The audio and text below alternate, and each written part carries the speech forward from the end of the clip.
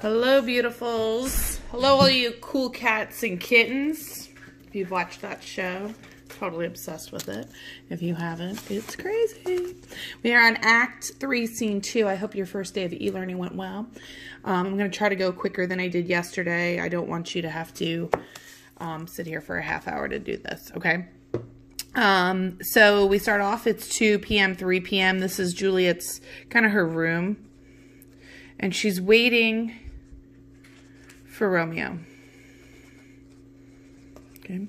Um, and basically, she's saying she's very anxious here. She's saying, Romeo, leap to these arms, untalked of and seen, so lovers can do their amorous rites. She's waiting for her wedding night.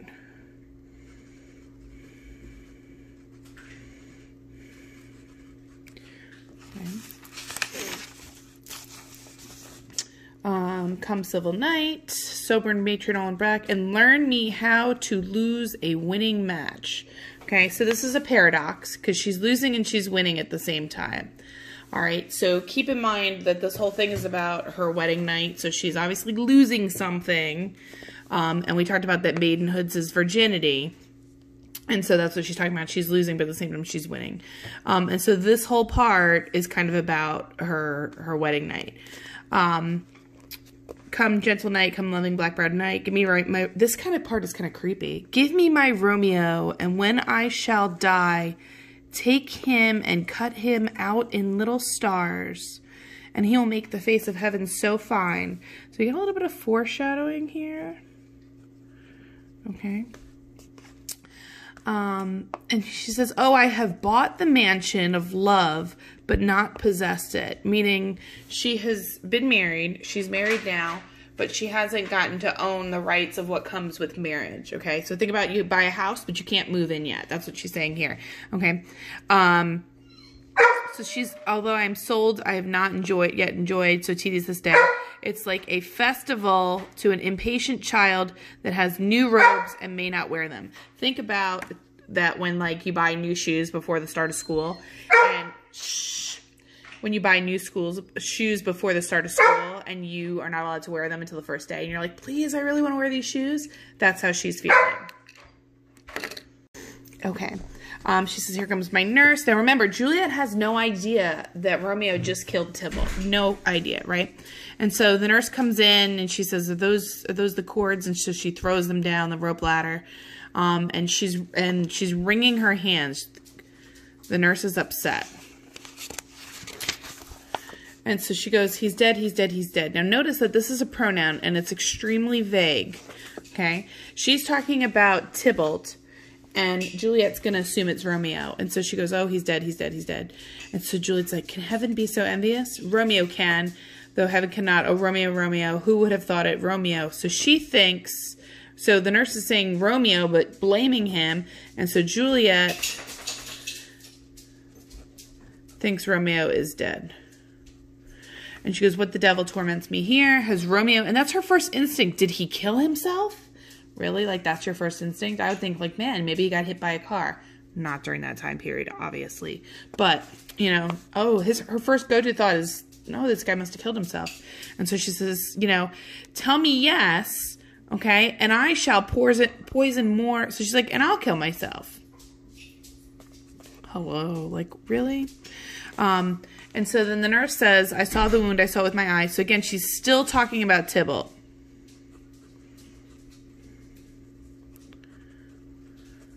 Okay. I saw it. I saw it. Okay. And so she says, Oh, my, you know, this is terrible. She says, My heart. Um, everything's breaking at once. Prison, eyes of their liberty, vile earth, resign in motion here. And Romeo press on one heavy. So then she goes, Oh, Tybalt, Tybalt, Tybalt. Okay. Um, and then Juliet's like, "What? I'm so confused. What's what's so contrary going on here? What's what's happening?" And so she's like, "Romeo's dead, and Tybalt's dead. My dearest cousin and my dearest lord. What?" So she says, "Tybalt's gone. So this is actually what's correct, and Romeo is banished. Romeo killed him. He is banished." So then she says, oh, oh my goodness, did he kill him? And so she says, yes. Okay. And so now you've got, we talked about this phrase at the beginning. It's another paradox. Remember, paradox is when you have it some kind of like an oxymoron, but it's within a sentence. It's something that is seemingly untrue. So, O serpent heart hid with a flowering face, beautiful tyrant, fiend, angelical, um, dove feathered raven with a wolvish raven. This beautiful, you're this beautiful, good looking guy. How could you be so horrible inside? Is what she's saying. Um, you know, just the opposite to what thou justly seemed. And that's what the point of this is here. Okay. Um, you know, and here's your book imagery again. Was there ever a book containing such vile matter so fairly bound? Okay, in such a gorgeous palace. Again, this is all about being beautiful on outside. Oops, I know you can't see that. Ugly inside. Because, you know, she really knows him so well. It's been like, ah, uh, you know, 24 hours at the most. Okay. So she says, you know, no, no, no. Okay. Shame come to Romeo. Well, then Juliet's like, don't you talk about my husband that way.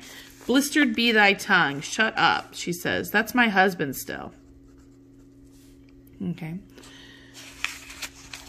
It's my three hours husband. Okay. And so she says, what a beast I was to... So she blames herself. Okay.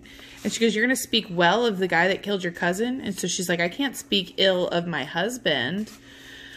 Um, she says, I'm your three hours wife. They've been married for three hours. And she says, I've already mangled it. Well, hold on, honey. Um, Juliet, he called you effeminate. He blamed you for the fact that he killed Tybalt, but whatever. Okay. Um, and so she says, you know, my husband lives. Tybalt would have killed him. She just knows, you know, and Tybalt's dead and would have killed, you know, Romeo. And so this is, this is, this is okay. Okay. And she's like, where should I cry? Uh, and then she says later on here, again, Tybalt is dead and Romeo is banished. Banished is worse than 10,000 deaths. Okay. Um, and so she says, da, da, da, if you keep going, Romeo is banished. His mother, father, Tybalt are all slain. Romeo is banished. So no limit, no measure bond. So it's like end of life for her.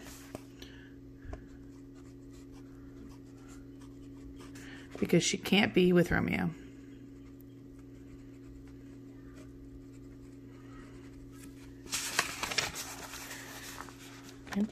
Um, and she says, in a de- in a word, death, no words both sound. Where's my father? Where's my mother? So they're they're crying over Tybalt. Okay, and so she says, my tears will be spent when theirs are dry for Romeo's banishment. I'm going to keep crying.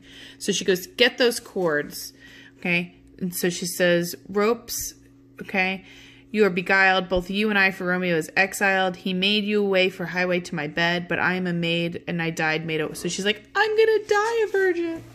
Uh, and so she's talking to the cords, and so she goes, I'll go to my wedding bed, and death can take me instead. So she's gonna, she'd like to kill herself instead. And the nurse is like, no, no, no, no, no. Okay, I'll take the cords and I'll find Romeo and he'll comfort you. And, you know, Romeo will be here tonight. Don't worry.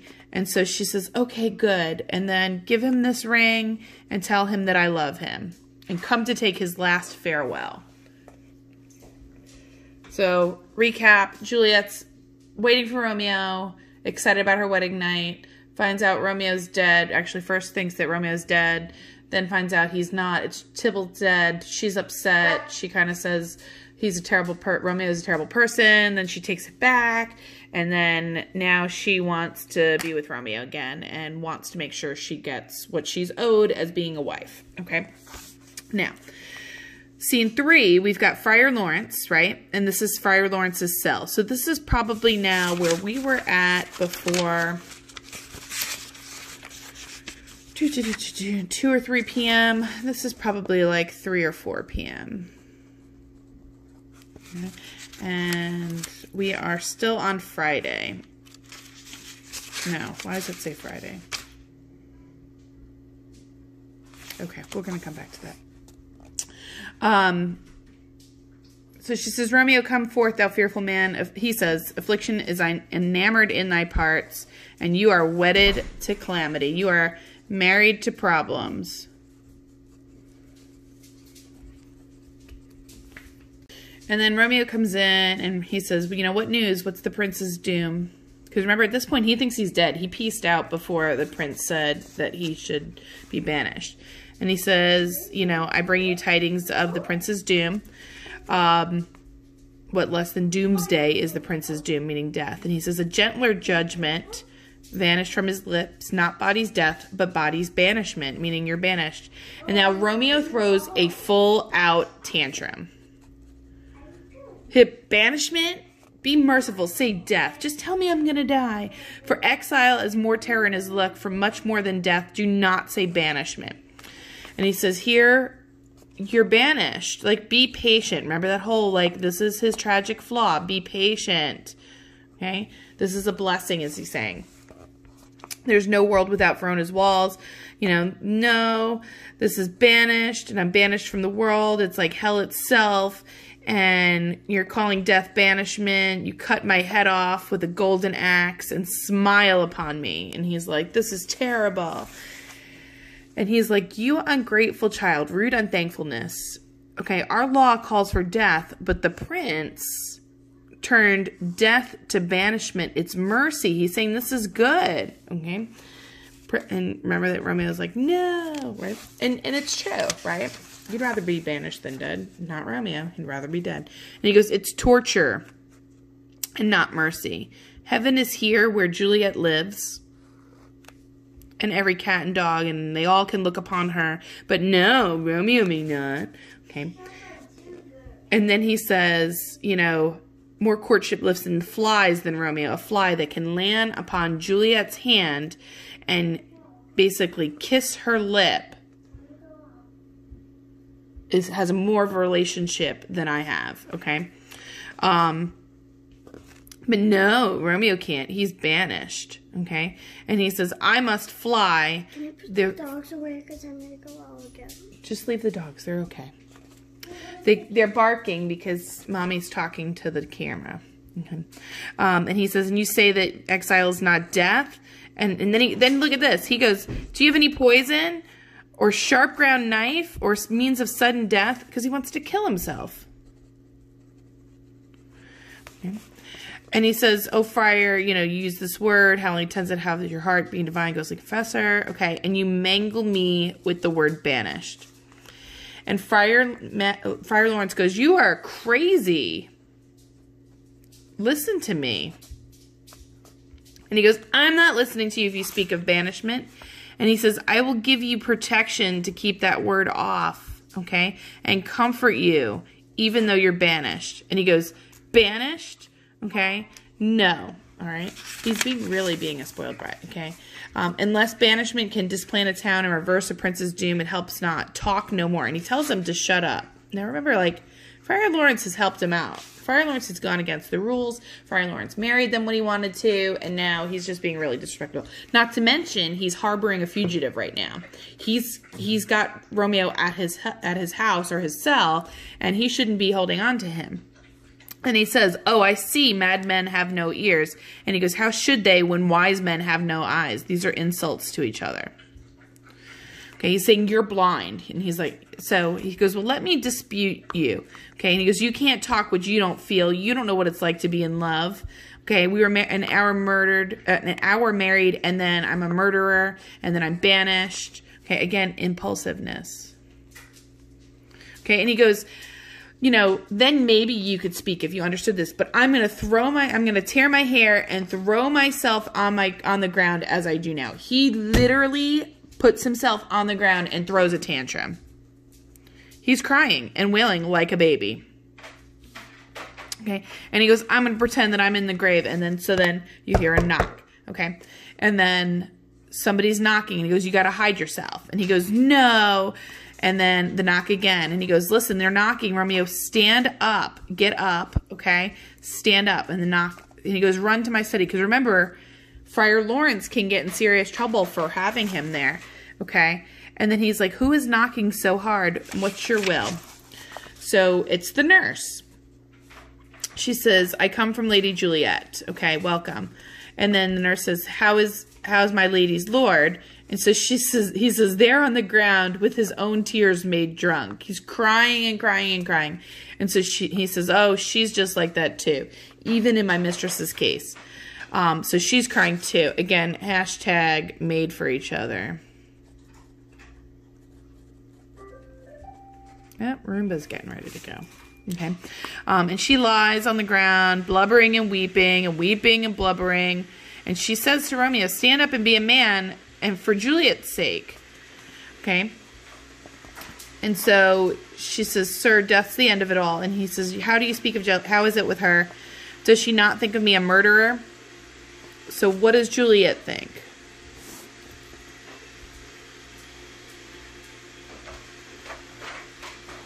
Okay. And what does she say of our canceled love? And she says nothing, but she weeps and weeps and cries on her bed and cries Tybalt and calls and cries and falls down again. So, again, she's crying and weeping and crying and weeping. We could put a little crying and weeping and crying. She's got to have some hair on her nose or something. Ugh, she's ugly. Okay. Um, and she he says as if that name shot from the deadly level of a gun. Remember that fire powder we talked about before? So you've got that imagery again of explosive. Okay, did murder her in that nurse that the name's cursed hand, murdered a kingsman.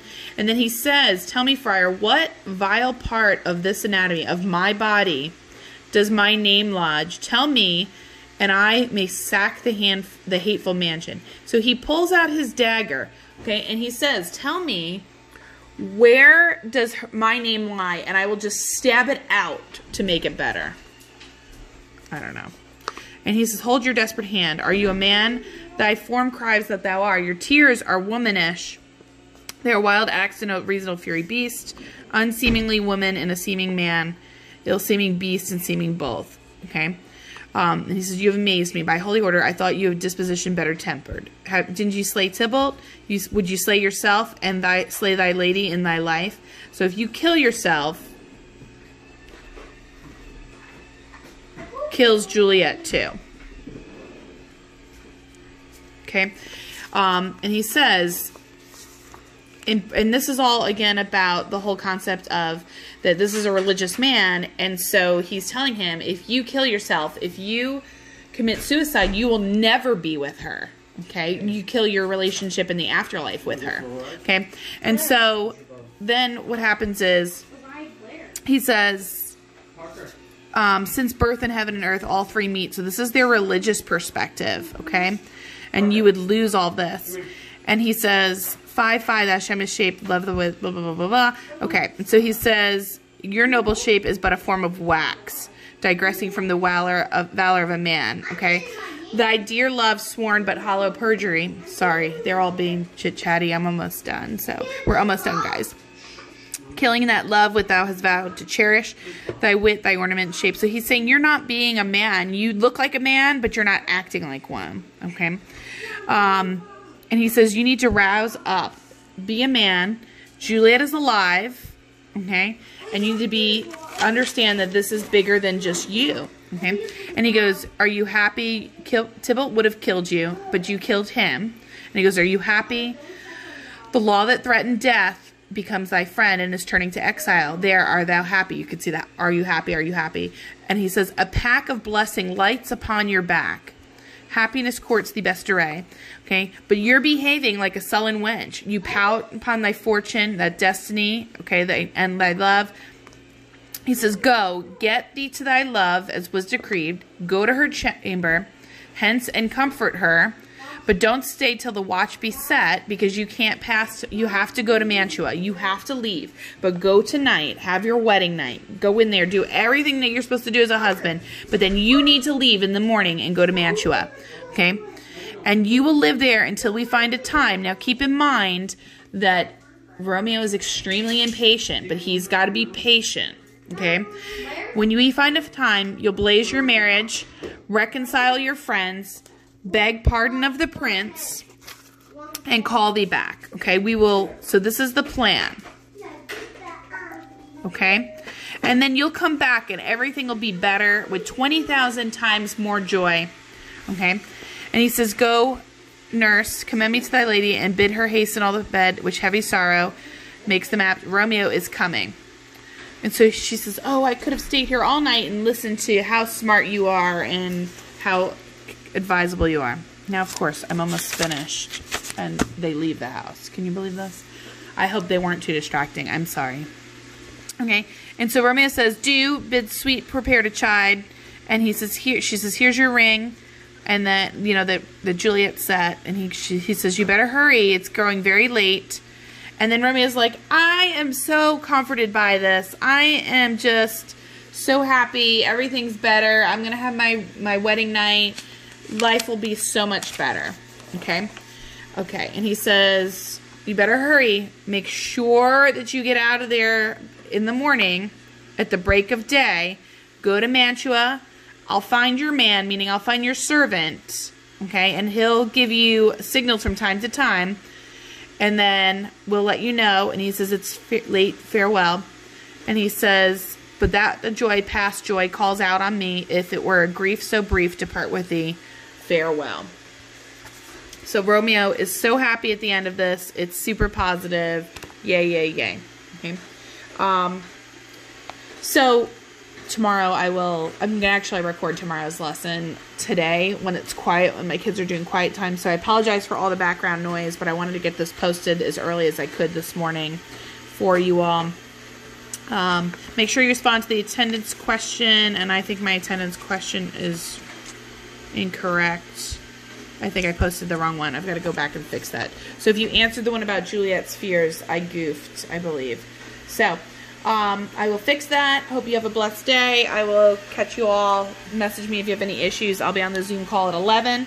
There is a new password. The password is nickel, all lowercase. And um, I will talk to you guys soon.